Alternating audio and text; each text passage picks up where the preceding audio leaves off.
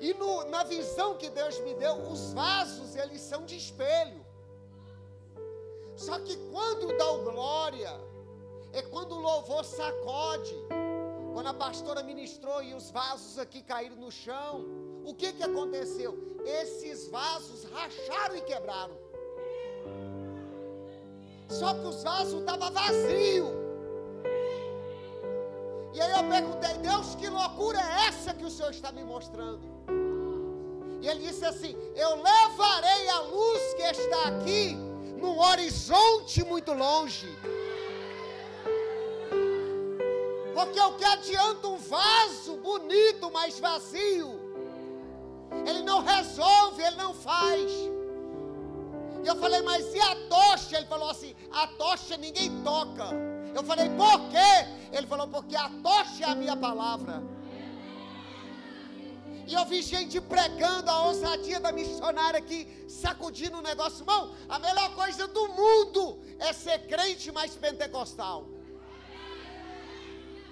Se você, irmão, já dormiu e acordou pelos pés da cama, dê um glória a Deus.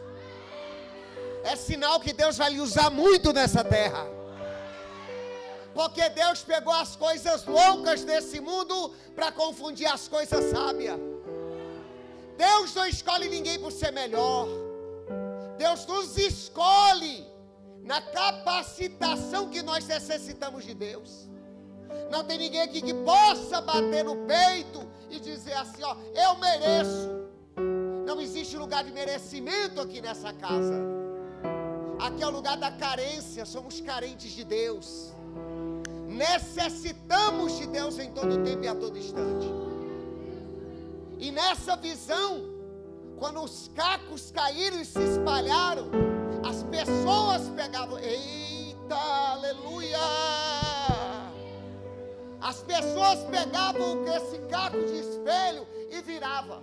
Quando ele pegava esse caco de espelho e virava, a tocha que estava aqui no meio, várias tochas, ela pegava no espelho que estava pequeno na mão daquela pessoa e atravessava o canedo num lugar, atravessava a caldazinha no outro, atravessava Goiânia, atravessava Goiás, atravessava Brasília, atravessava São Paulo. Deus está trazendo aqui nessa madrugada uma unção que vai impactar gerações. Ai, ai, ai, ai, ai.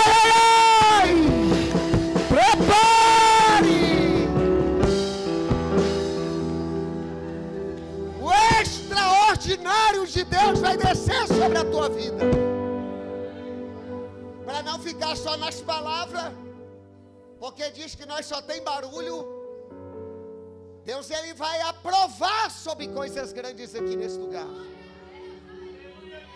Aí ele disse ao meu coração assim, filho, eu disse o quê?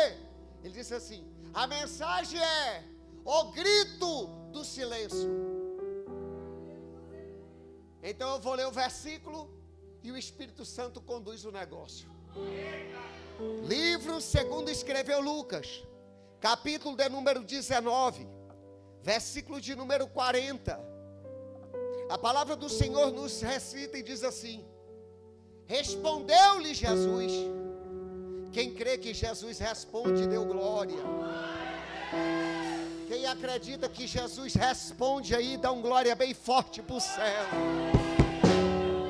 A Bíblia diz: Respondeu-lhe Jesus: Digo-vos que se estes se calarem, as próprias pedras clamarão. Pode se assentar. Existe um problema em que nós, a igreja do poder, ela é lembrada, porque ela é esquecida. Ela é lembrada, porque ela é deixada. Nas maiores oportunidades, você nunca vai encontrar os pentecostais. As maiores oportunidades não são as nossas. Os melhores sons não estão para nós. Os melhores lugares também não são nossos. Caminha aí no meio das melhores avenidas do Brasil e do mundo, você não vai encontrar uma igreja pentecostal. A igreja pentecostal é uma igreja esquecida. É porque nós não temos as maiores oportunidades. Pelo medo do diabo. O diabo sabe a ousadia que você tem em Deus. Ele não tem medo do letrado. Ele não tem medo de um homem que possa trazer a Bíblia e explicar a Bíblia toda para você. Conhece inúmeros homens que conhecem muita palavra de Deus, mas desconhece o Deus da palavra. Eu sou mais quem conhece o Deus da palavra do que o camarada que conhece isso aqui de trás para frente e frente para trás. Porque a igreja está se esfriando. E a presença do Espírito diz: Não me abandones.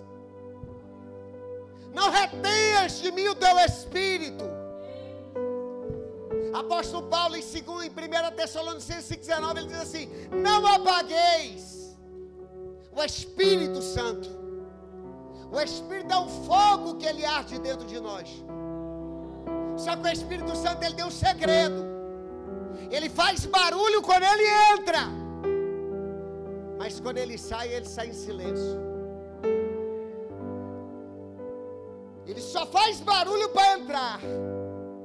Para sair, ele sai em silêncio.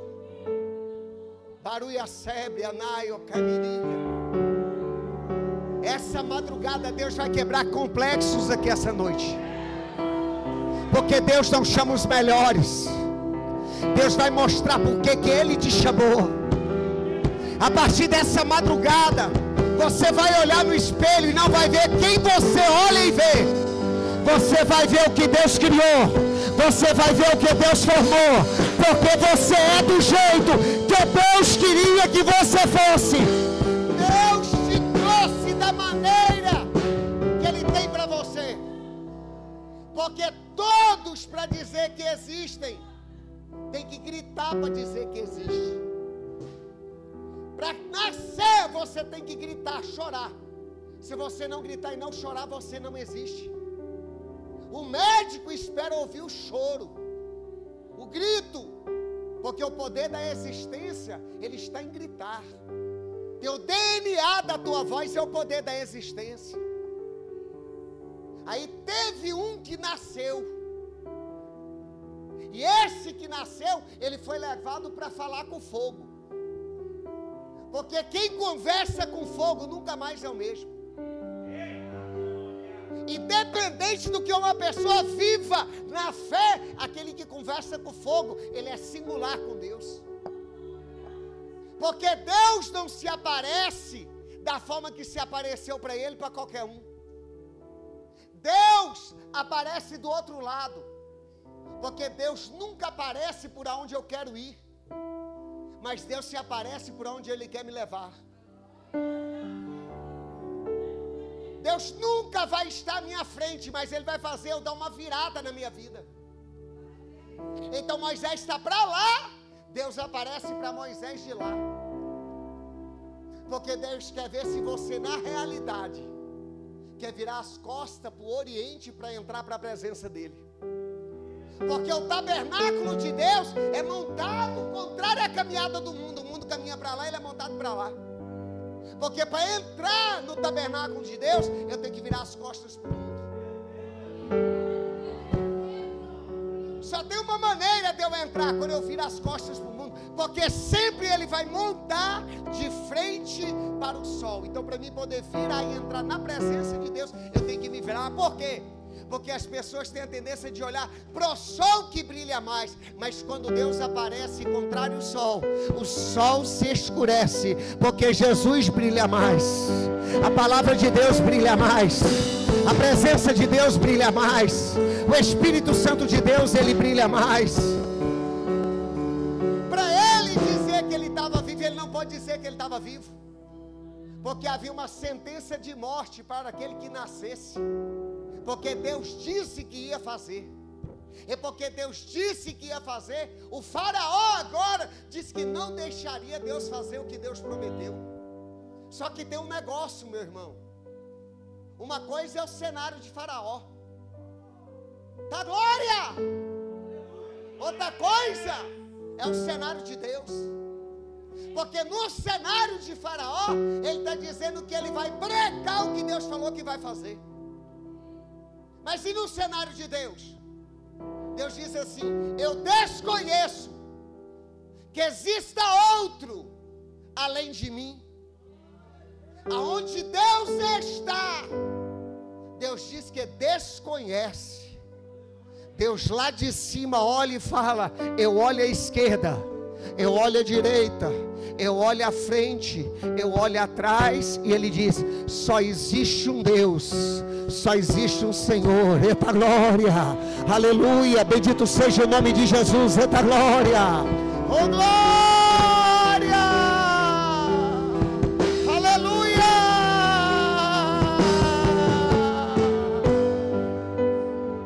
Só que na hora que ele vai nascer, ele tem o direito de dizer que ele vai existir. Só que as pessoas, pastora, têm medo de quem tem o direito de existir. Eu te avisando aqui com você. Estou entendendo o negócio, vou desenrolar aqui, eu te entrego. Então as pessoas têm medo daquele que Deus escolheu. Porque tem três: o chamado, o escolhido e o enumerado. Chamado é para salvação. Deus chama todo mundo para ser salvo.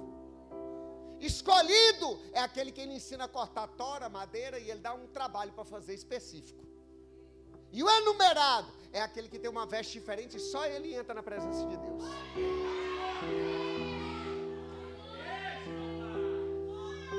Por isso que você vê que algumas pessoas, quando entra dentro do ambiente, o ambiente transforma. Você já notou? Tem pessoas, irmão, que dela aparecer no ambiente, o ambiente não é mais o mesmo.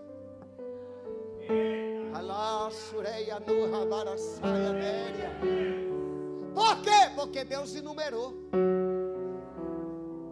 É aquelas pessoas que o céu se abre. Mas quando vai nascer, o inimigo diz assim: Eu não deixo nascer. O problema não é quem nasce, o problema é quem gera. Porque a igreja gera, depois fica com medo do que gerou. Eu sei o que, que é isso aí, meu irmão. Eu fui perseguido quando eu nasci dentro da igreja. Sou ex-traficante de droga. Eu pegava remédio de cavalo, quando a cocaína não era pura, que eu traficava e misturava. Eu misturava, levava para o micro-ondas, transformava ela do líquido no sólido e injetava em mim. Tive três overdoses. Nunca fui chamado ladrão no mundo, mas quando eu cheguei dentro da igreja, eles para tirar uma oportunidade de um auxiliar, eles inventaram um monte de coisa. Quando eu cresci dentro dessa igreja, aquela pessoa que era um parceiro meu, ele achou que eu tinha ganhado a agenda que era dele. Aí ele foi no lugar e disse assim: ele morreu no acidente. Me enterraram sem saber. Encontrei com a pessoa no lugar lá, a pessoa veio em mim tocando em mim. Eu falei, que isso, Arão? Você ficou doido? Pai do Senhor é pegando na mão. Ele falou, não, é o senhor mesmo. Não fantasma. Falei, Flávio, que história doida é essa de fantasma? O senhor não morreu? Eu, falei, no batismo das águas, varão. Lá atrás. Falou, pastor, aquele seu amigo que vocês andavam junto lá, que pregava lá nos lugares tudo, ele contou para todo mundo, contou até um acidente, como é que foi. Eu sei, irmão. A igreja gera, mas a igreja tem medo. Só que você não nasceu pelo homem. Você nasceu por aquele lá em cima. E é porque existem lugares como esse que aqui está, que tem uma placa dizendo assim: é livre é de graça. Entra, recebe, aproveita, pensa, roda, pula, chora, porque esse lugar aqui foi Deus que separou para a tua vida e para mim também. O que eu já recebi aqui nesse lugar eu ir embora. Porque o que Deus está fazendo aqui nessa madrugada, nesse lugar, é coisa extraordinária.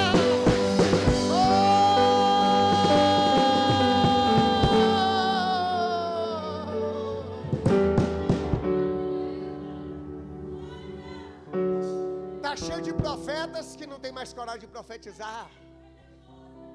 Está cheio de gente dentro da igreja que tem a voz dentro deles, mas não pode mais falar. Ele nasceu, ele tinha o direito de gritar, mas ele tinha um complexo que ele chegou em Deus quando Deus disse assim para ele: o fogo falou com ele, é você que vai falar. Ele diz: Eu não posso falar, que eu sou pesado em palavra. Ele falando para o Rei da Glória de complexo, que é o complexo perto de Deus. Deus não me escolhe por aquilo que eu sou bom, Deus me escolhe por aquilo que eu sou ruim.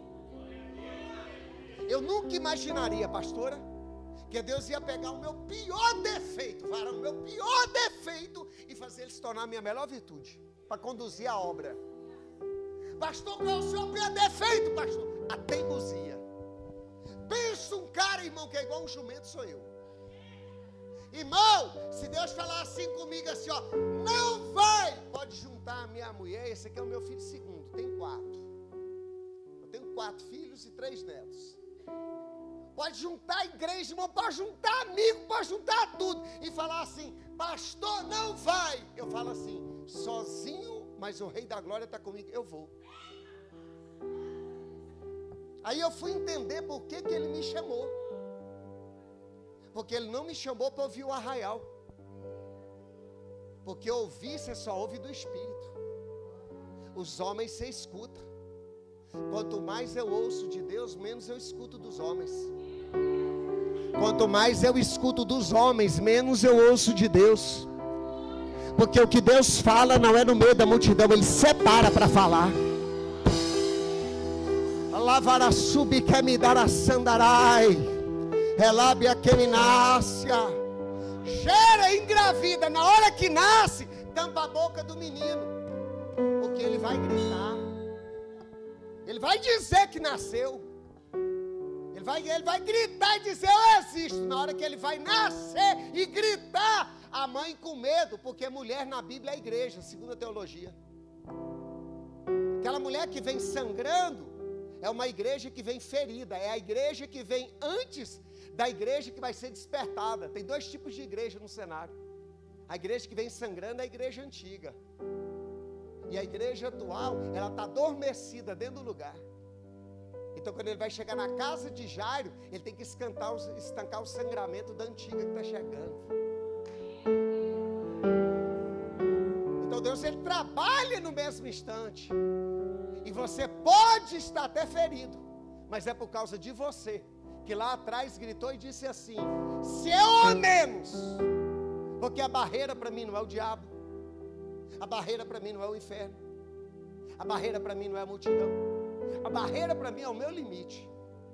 Se eu vencer o meu limite, ao menos tocar na ola da veste dele, eu sou meu profeta, eu serei curada. Quem determina sou eu, no ambiente espiritual sou eu que vou determinar. Aí ela determina, e ela vai determinar por quê? Porque eu estou no meio hoje de um povo que tem a capacidade de fazer Deus olhar para trás. Por quê, pastor? Porque Jesus já tinha passado a história dela. Mas por trás de Jesus, ela toca. E quando ela toca na orla da veste de Jesus, Jesus resolve então olhar para trás. Tem pessoas que estão aqui essa noite que tem o poder e a capacidade de atrair a presença de Deus, mesmo que ela já passou. Tem pessoas aqui essa noite que nasceu para atrair a presença de Deus para dentro dessa casa. Aleluia, aleluia, aleluia.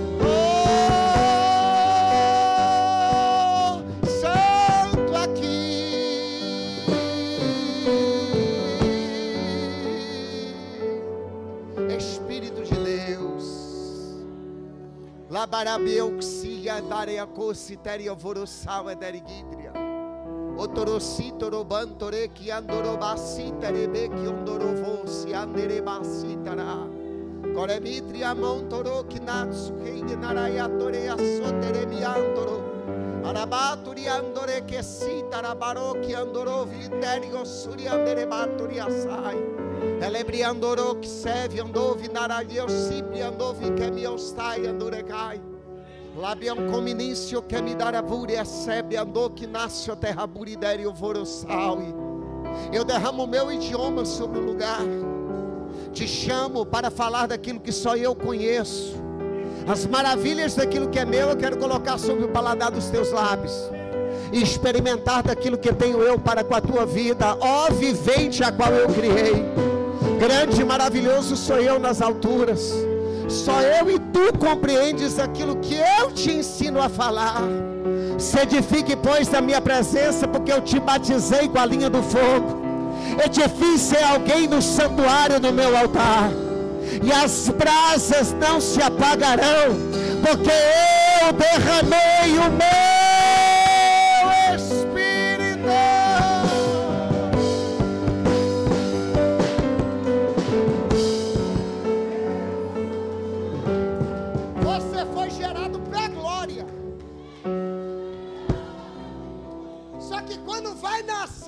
o ambiente profético, o normal, ele rejeita o anormal.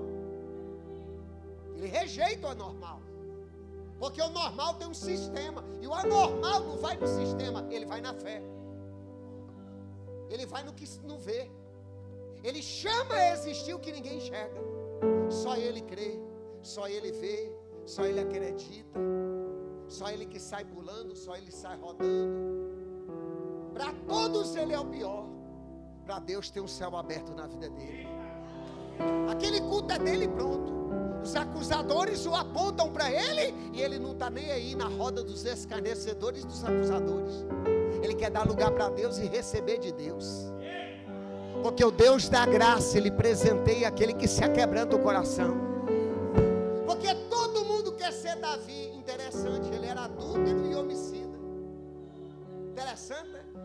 Todo mundo quer ser Davi. Mas o irmãozinho da igreja que fez alguma coisa errada, todo mundo está apedrejando ele. Interessante, eu acho interessante umas coisas. Se você for olhar mesmo e ver mesmo, mas por que, que é assim? E está lá ele dando lugar para Deus. E a pessoa olhando e fala, ai, será que é Deus mesmo? Vai nessa, será que é Deus? E ele está lá, recebendo do céu, da terra, só virando. Porque Deus tem coisas grandes para fazer. Agora o complexo ele tem que deixar de existir aqui essa madrugada. Porque se Deus fala com você na voz do fogo, para que, que você vai dizer que a língua é pesada? Por que, que você vai lembrar de uma coisa que aconteceu há não sei quantos anos atrás? E vai ser desculpa para você arrastar teu ministério e dizer que não foi. Hã? Se quem falou foi Deus, por que, que eu vou parar? Porque a voz só nasce. A voz só nasce quando o altar silencia. O silêncio do altar gera a voz profética. Porque Deus fala com Zacarias, mas Zacarias pergunta para Deus: será possível? Aí, aí, ele recebe o anjo no altar, o anjo fala com ele e ele vai dizer assim para Deus: será possível isso? Aí Deus deixa ele mudo no será, e Deus gera a voz no ventre da mulher dele que está em casa. Porque o silêncio da incredulidade do altar, Deus gera a voz profética lá fora. Vocês hoje é a voz profética da igreja. E não há quem possa calar a voz profética da igreja. Levanta essa mão para cima. Levanta essa mão para cima e diga bem forte assim: Se depender de mim, fala forte. Se depender de mim, mas fala forte: Se depender de mim, pedras não pregam, pedras não pregam, pedras não cantam. Se depender de mim, eu não dou voz às pedras. Alavará sobre anderá sorei vi amor e andoro candora baseri ondoro. Arabara sobere que andoro vora saia dare candarai. Labria cominizio sopra canderevia baracudarai andoregai. Labria cominencio provateria dara sopria. Alabria cominencio provaro e que a sorandare conará. Braba brasoria.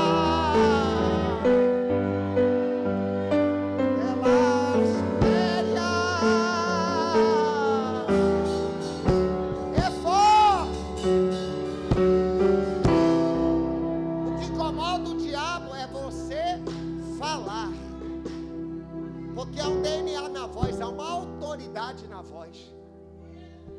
Uma autoridade na voz.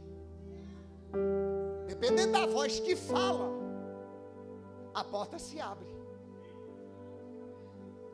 Apóstolo Paulo e Silas foram louvar o Senhor. E eles só abriram a boca. E diz que quando eles abriam a boca, as portas dos cárceres iam abrindo. Até o ponto que o que prendia eles também se abriu e quebrou, caiu por terra. Por quê? Porque há uma autoridade na voz. O apóstolo, ele abre a boca para abrir a porta. E o profeta abre a boca para a janela do céu se abrir. Aonde, pastor? Paulo abria portas. Apóstolo Paulo abria portas. E Daniel abria janelas. Porque porta é a oportunidade de mudança de ambiente. E janela, janela é riqueza do céu. Deus diz: quer fazer uma prova comigo? Faça a prova comigo se eu não abrir janelas no céu e descer riqueza sobre a tua vida e a tua história. Eita glória. Segunda Crônicas 20, 20. Crede no teu Deus, estareis seguros. Agora olha a pó, olha, olha a janela profética. Crede nos teus profetas e prosperarei.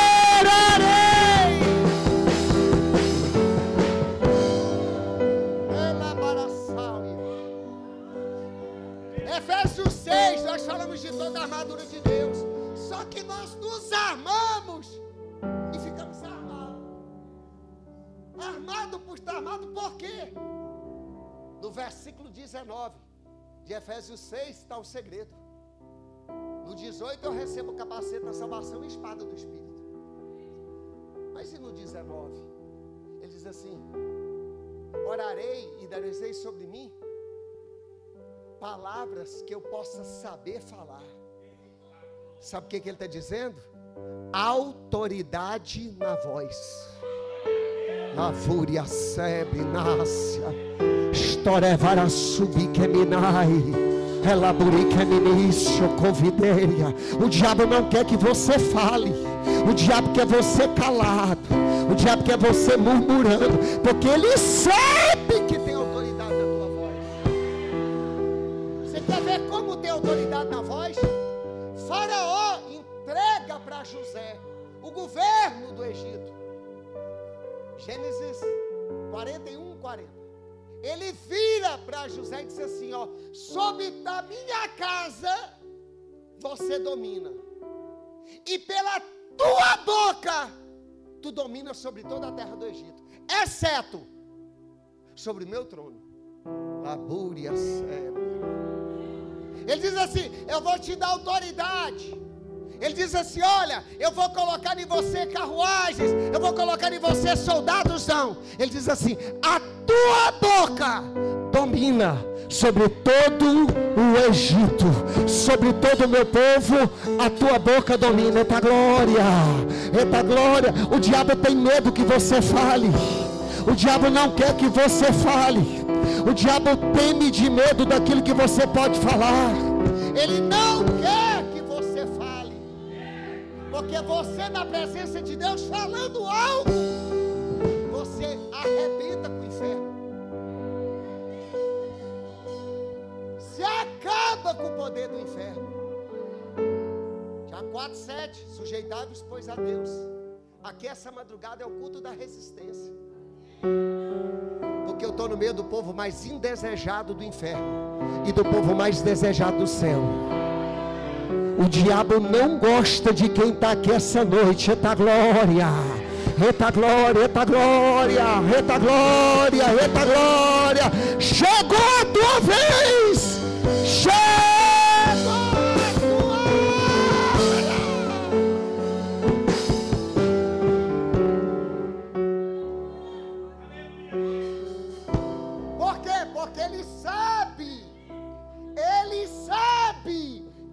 Dependendo daquilo que você falar, você arrebenta com tudo. Então o que, que ele faz? faz pessoas andar de cabeça baixa. Porque quem anda de cabeça baixa é quem perde. Você quer ver uma pessoa nunca encontrar nada? Eu já fiz esse teste uma vez. O senhor pegou e falou assim: ó, na igreja, você pega esse negócio e coloca no alto. Aí eu peguei lá na igreja o negócio, coloquei bem fácil assim. Tá tipo o negócio eu fui, coloquei bem assim. Ó. Eu perguntei para os irmãos: vocês viram, né? vocês viram isso? Viram não, pastor? Falei, rapaz, me ajuda a procurar. E eu fiquei de lá olhando. Todo mundo assim, ó. Ó, ó, ó. Revirando debaixo das cadeiras e tal. E eu fiquei com Deus. Falei, Deus, mas que mistério é esse? Ele falou, fica olhando, fica olhando. Eu falei, por quê? Ele falou assim: todo mundo que perde, olha para baixo. É isso que o diabo quer fazer. Ele quer você colocar a sua visão para baixo. Mas quando você interpreta a visão de Deus, você vai longe demais. Porque você busca a resposta no ambiente que Deus faz a pergunta. Deus não responde a resposta com resposta. Deus responde a resposta com pergunta. Para quê? Para saber se você compreendeu o que ele te mostrou. Jeremias 1:10 diz o quê? Veio a minha palavra do Senhor e assim ele me disse: O que viste, Jeremias? E Jeremias diz assim: Eu? Eu vi uma vara. Agora a pastora vai aqui, cata um monte de vara, traz aqui para frente. E você vai virar e dizer assim: Eu vi uma vara de amendoeira. Ele não viu o pé, ele viu a vara. Como é que você vê uma vara e você identifica que ela é de amendoeira?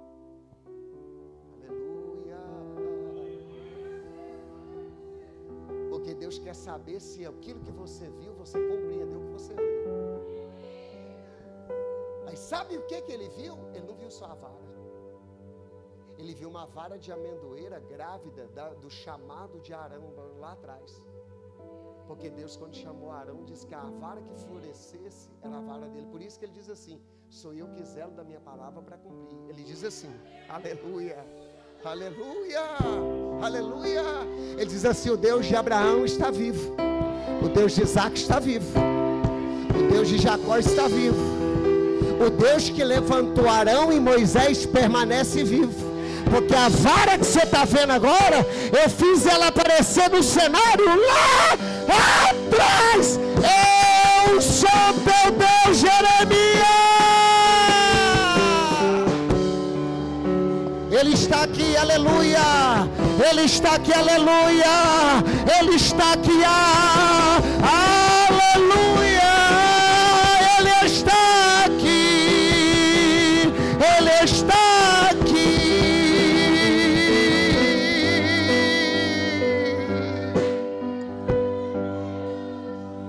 Lamúria. Uma certa vez eu fui pregar no meio de grandes doutores. Pregou uma mensagem, irmão, daquelas assim, de desorientar o neurônio dos caras. E chegou um pregador lá, e ele chegou depois de mim e disse assim: Só Deus para falar uma coisa dessa. E eu falei: Eita glória! Aí ele chegou em mim e disse assim para mim: Porque eu ouvi você falando em português, o seu português é chulo demais. Eu falei: Não sei o que, que é isso, mas coisa boa não vai ser, não. Com nome feio desse. Fiquei na minha. Esperei, falei, Deus, traduz aí para mim. Aí ele virou e disse assim: Seu português é muito pobre. Para você saber o que você está pregando. Aí ele olhou, aí ele olhou para mim e disse assim: É Deus falando. Eu fiquei olhando para os olhos daquele camarada. E eu falei assim: Glória que seja Deus, Que eu diminui, que Cristo cresça. Quem quer aparecer na festa é o Rei dos Reis e Senhor dos Senhores. Porque a gente é só um jumentinho. Quando Jesus está em cima de nós, irmão, nós é um cara. Jesus está em cima, irmão, é bilheteria total. Todo mundo quer você, tirar foto com você, te abraçar. Todo mundo quer você. Aí depois você olha e fala assim: o povo se esqueceu de mim. Não, o povo nunca te viu, nunca te lembrou. Mas então para que, que aquele povo era doido comigo? Não era com você, era com quem estava em você. Aleluia. Aleluia, aleluia, aleluia.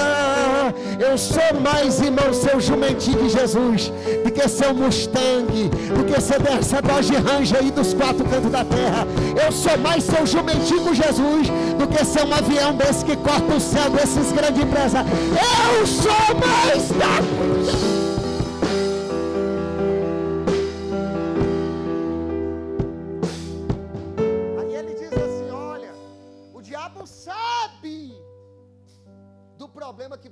Causar no inferno. Aí ele faz a pessoa olhar para baixo. Porque o salmista lá no 122 ele diz o quê? Ele diz o que lá? Ele diz assim: elevo, elevo, elevo, para onde? Ele estava com os olhos para cima ou para baixo?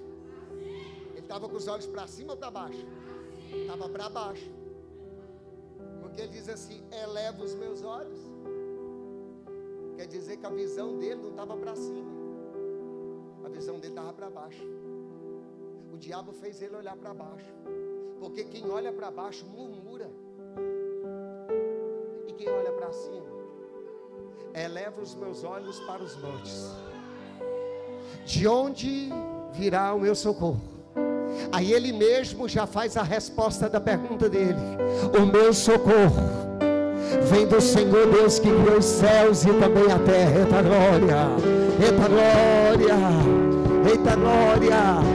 Ele não quer que você clame, ele quer que você reclame. Porque se você clamar, é derrota para ele. Se você clamar, acabou para o inferno, acabou para Satanás. É prejuízo quando você clama. Então ele quer que você reclame, cabeça baixa. Mas assim que você levanta os olhos, você começa a entender o que Deus tem na tua vida, o que Deus tem na tua história. Por quê? Porque Deus nunca perde. Eu posso pecar, você pode pecar, eu posso errar, você pode errar, mas nem eu e nem você é do diabo. O diabo não tem vez diabo não tem vez. Eu tive uma grande oportunidade. E eu fui pregar nesse lugar. E eu estava num culto muito pequeno, numa garagem. E Deus usou numa revelação assim tremenda. E essa pessoa era trabalhava, a irmã dela trabalhava na casa da pessoa que revelou.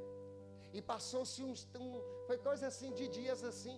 A pessoa foi levou lá para um lugar lá e deu a oportunidade de uma igreja. Eu fui lá e preguei nessa igreja. E aí voltei para Goiânia. Eu voltei para Goiânia. E o irmão me abençoou aqui. Falou assim: Ó, oh, Barão, você não tem nem roupa para ir, eu vou te dar uma roupa. Aí me deu uma roupa. Ó, que eu cheguei lá para pregar, o pregador do outro dia estava com a mesma roupa que eu. Aí o irmão virou para mim e falou assim: Você vai lá no Braz? Eu nunca conhecia, a primeira vez que eu tinha ido para São Paulo. Igual doido, irmão dentro daquele avião, olhando, parecia aquele trem. Aquelas nuvens igual algodão doce. Queria sair do avião, não, irmão, queria ficar lá. O avião chegou, o povo tudo doido para descer, eu lá.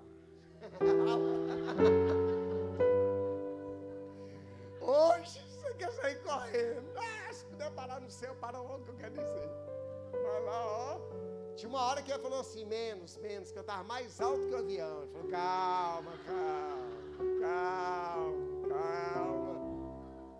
Aí quando eu cheguei lá, irmão, ministrar, ministrou, cheguei em casa, pastor, e aí, bem, como é que foi? Eu falei, tremendo. Foi um negócio assim, sacudiu o negócio todo. Jesus é lindo demais, Jesus é forte.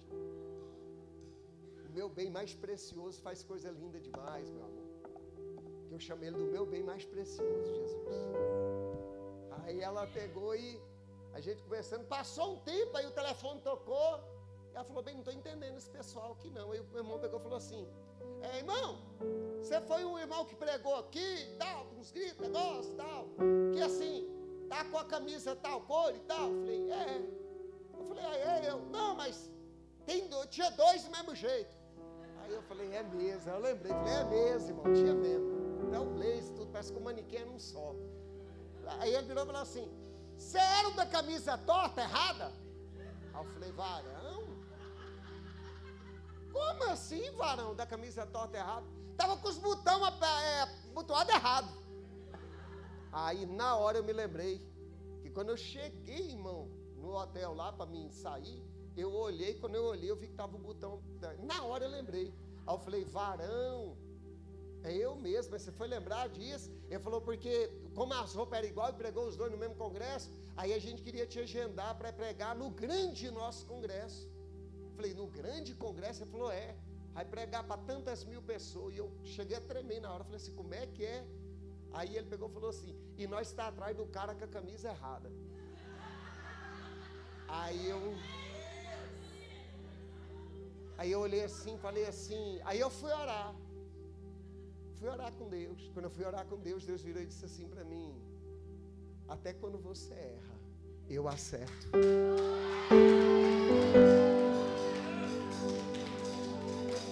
Esse Deus é lindo demais. Oh, glória!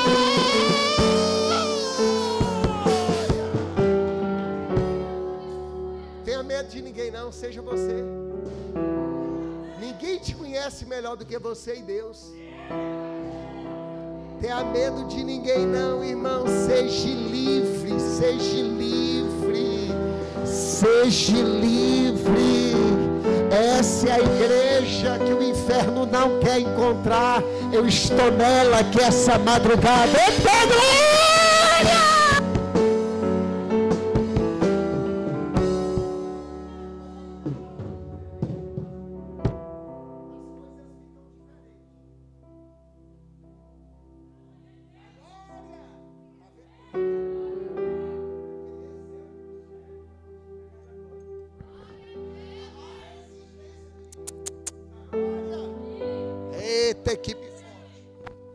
A glória. Pegou. Eita. Tudo. Quando Deus escolhe alguém de uma forma excepcional, o ambiente, ele tem hora que ele, do mesmo jeito que ele tem o desejo, ele também tem o medo. E quando eu estava aqui, e até agradeço aos céus, né? Parece que é a comemoração do seu aniversário. Eu vi coisas invertidas. Eu vi assim: mesa baixa com cadeiras muito altas. Mesas muito altas com cadeiras muito baixas. Pratos muito grandes com talheres muito pequenos. Pratos muito pequenos com talheres muito grandes. Eu perguntei, Deus, o que é, que é isso? Ele diz assim: as oportunidades que têm chegado até hoje nela são oportunidades que vêm de mim, mas os homens não deixam ela chegar conforme ela tinha que chegar. Eu estou separando para a vida dela um tempo novo e uma virada que eu vou fazer na história dela. Eu disse: como será esta virada? Ele diz assim: o homem pode até tentar impedir, ele pode até tentar fazer o que ele quiser fazer, mas tudo que é meu tem que descer no lugar. Então o que, que eu vou fazer? Eu vou pegar a cadeira grande, a alta, e vou colocar no lugar a mesa alta. Vou pegar a cadeira pequena e vou colocar no lugar pequeno. Vou pegar o talher grande que está no prato pequeno e vou colocar no prato grande. E o talher pequeno que está no prato grande, eu vou trazer para o prato pequeno. Por quê? Porque a mesa pequena é a sua intimidade. E Deus quer de você aquilo que você é na intimidade, na mesa grande lá fora.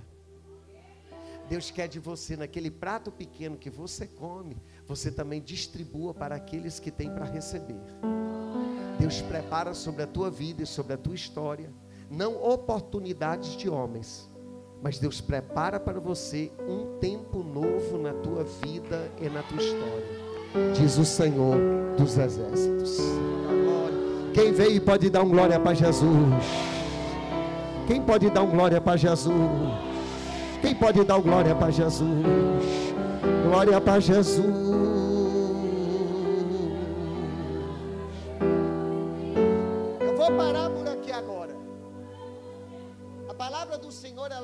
Descrever que o medo dele todo é eles chegarem em Jesus e dizer assim: chamaram Jesus até de mestre, os fariseus falaram assim: mestre, cala eles, porque estava incomodando o inferno, aquela glória que aqueles homens estavam trazendo. Aí Jesus ele dá uma resposta: se calarem eles, até as pedras clamarão. Só que eu estou numa geração aqui essa noite que nasceu para não dar voz às pedras. Eu creio que a partir dessa madrugada vai nascer profetas, homens e mulheres de Deus para serem usados de uma forma extraordinária sobre a face dessa terra. Porque Deus ele não aceita entregar. E por que que pede? Por ignorância. Perde por bobeira. Pede por burrice. Perde por meninice, por isso que perde. A palavra do Senhor em Oséias 4:6 diz o quê? O meu povo, o meu povo perece. Por quê? Porque lhe falta o conhecimento. Deus abandona quem erra. Deus deixa para trás quem erra. Deus abandona aquele que é burro no reino espiritual. Pode nem conhecer ele que não abandona. Por quê? Porque ele está dizendo assim: pode errar, pode estar tá fazendo bobeira, pode estar tá dando burrice, mas Deus está dizendo em Oséias 4,6: é meu. É meu. Eu não abro mão daquilo que é meu esse povo que está fazendo essas burrices, esse povo que está dando esses vacilos, esse povo que está fazendo tudo isso aí, continua sendo meu. Ele não diz assim, o seu povo perece, ele diz, o meu povo perece, porque lhe falta conhecimento, mas é meu, é meu, é meu, é meu, é meu. Eu não abro mão do que é meu eu não jogo fora do que é meu, eu não rejeito o que é meu, porque eu sei quem você é, eu não rejeito, não abro mão, não jogo fora. Por quê? Porque quem é de Deus sabe chamar Deus. Segunda Crônica 7,14. Se é de Deus, sabe chamar Deus. Não fica mandando figurinha dizendo que está tristezinho. Não fica querendo escutar alguém para falar não sei o que, para não sei o que lá. Não precisa disso. Não precisa. Não precisa ficar para lá, para cá. O que, que a fulana falou, o que, que o Beltrano disse, o que, que não sei o que. que, que... Por quê? Porque quem é dele sabe chamar por ele.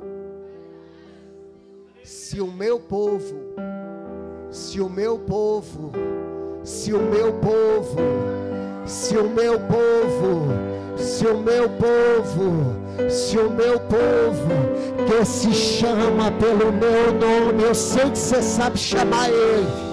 Eu sei que você sabe chamar ele. Eu sei que você sabe chamar ele. Vai lá fora e vê se tem alguma coisa no céu. Tem uma mão pequena como a mão do homem. Ele tem cinco dedos, maravilhoso. Conselheiro, Deus forte, Pai da eternidade, é príncipe da paz. Quem é dele sabe chamar por ele.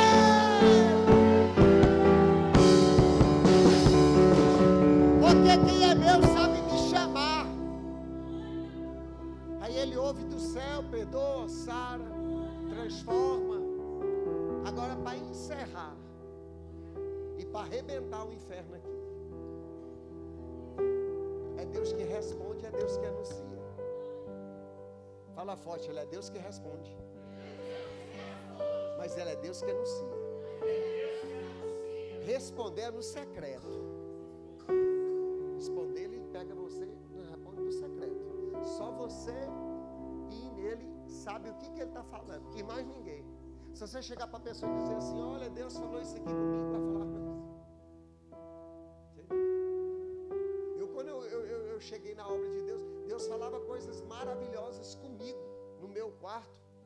Na hora que eu saía do quarto para fora, estava tudo errado. Eu falava, ah, rapaz, não foi Deus não, rapaz. Novinho na fé. Falava, Deus, mas o diabo me enganou. Aí eu fui caminhando e lá na frente eu vi a coisa explodir de uma imensidão tão forte. E eu falei, Deus, que negócio é esse? Ele falou, eu não só respondo, Qual é a diferença da resposta para anunciar? Resposta é aquela coisa no íntimo. Anunciar é horário nobre. Fala para o teu irmão assim: você está preparado para entrar no horário nobre? Fala assim: você está preparado para viver o momento, o momento mais caro da terra, momento da exaltação de Deus na tua vida? Você está você tá, você tá preparado para isso? Você quer viver isso?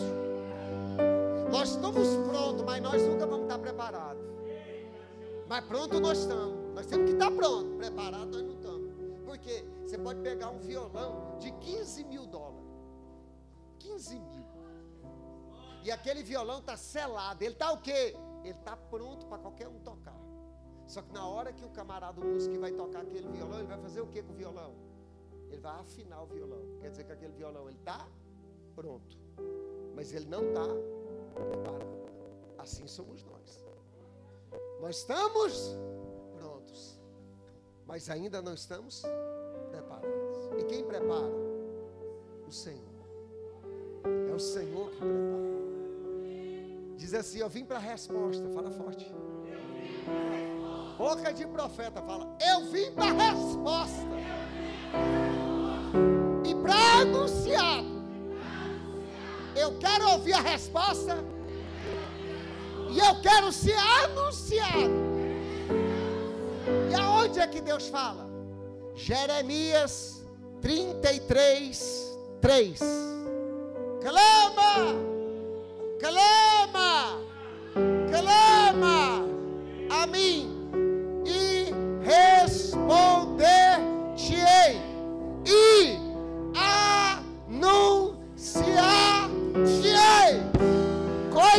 grandes, ocultas, profundas, que ninguém conhece. Levanta aí agora desses lugares, eita glória. Vamos fechar esse corredor aqui. Já está até quente o lugar, eita glória. Vamos fechar esse corredor aqui, vamos segurar nas mãos aí agora. Alavara sobe que avara sandarai. Alabara keminenso provandara aqui de aforcanai.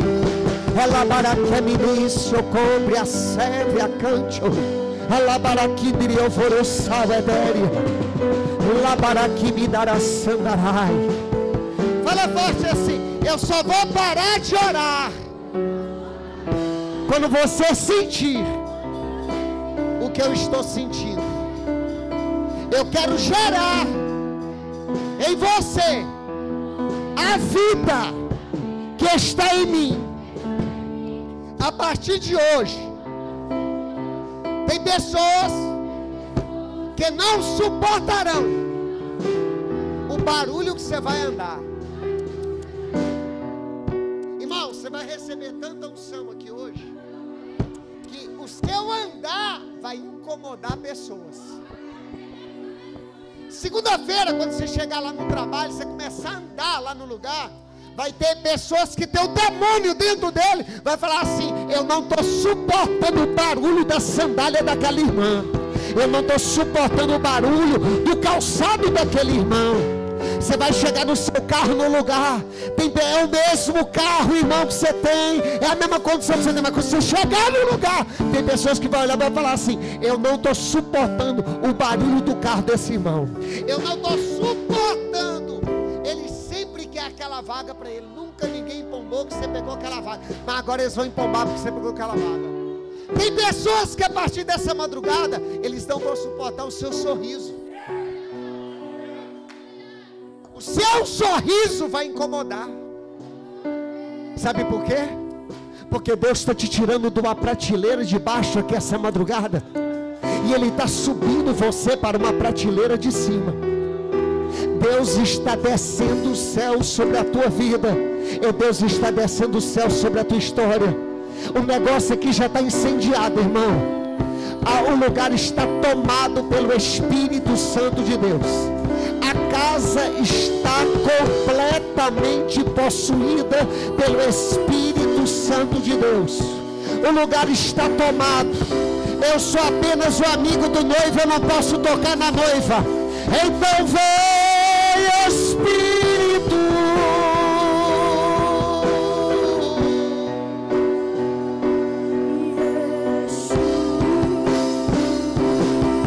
Forte demais.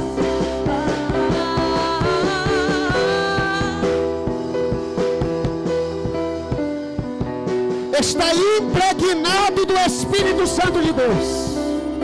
Começa a dizer mais, mais, mais,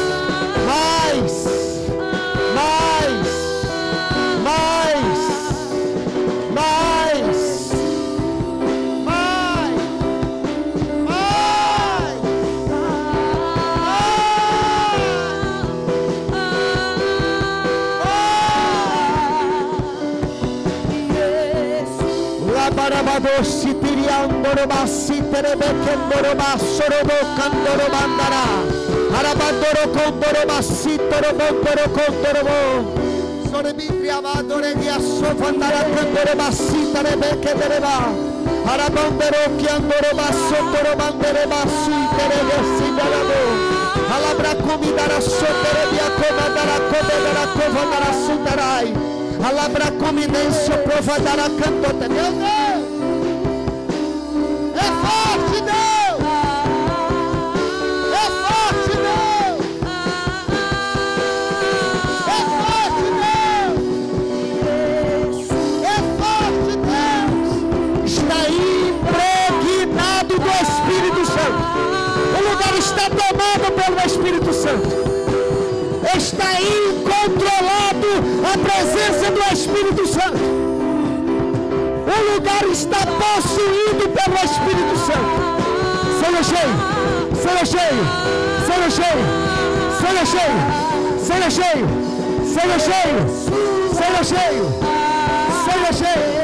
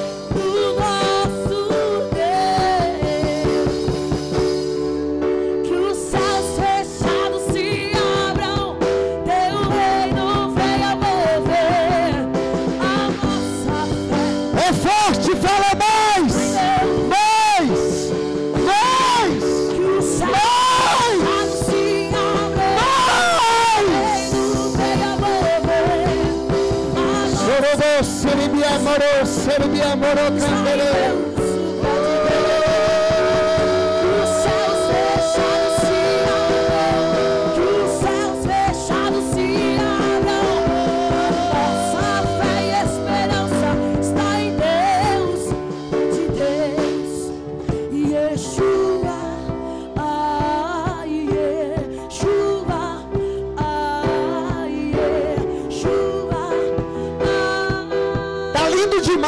aqui.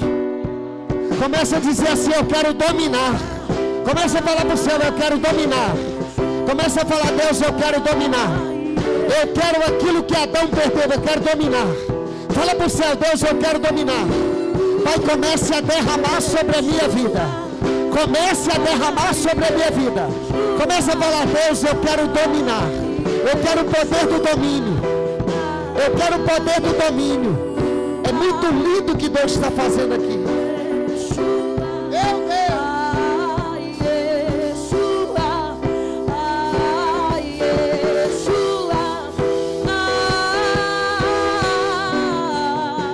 linda é